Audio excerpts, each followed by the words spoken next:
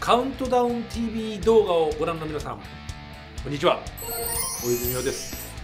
3月11日夜の1時からカウントダウン TV ライブライブ2時間スペシャルに出演させていただくことになりました。熱いステージをお届けいたしますのでどうぞよろしくお願いいたします。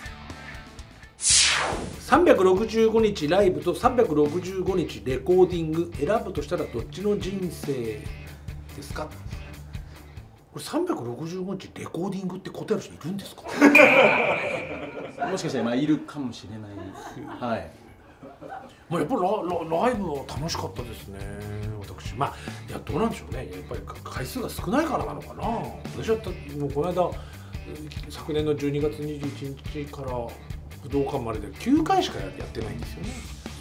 まあたった9回だったからかな楽しかったですね。なんとかまたライブをねやりたいなと思うんですけど365日やるとやっぱ飽きるのかな？でもレコーディングレコーディングってのはやっぱり辛かったですね。なんか何回も歌ってね。いや365ってレコーディングはやっぱつまんないんじゃないの？ねえ。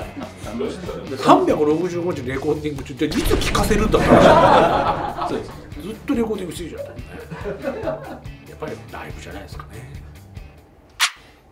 今回私は「あの空に立つ塔のように」を歌わせていただきます、えーちょっぴり切ない、えーラブソングでございます、えーどうぞ。頑張って歌います。お聴きください。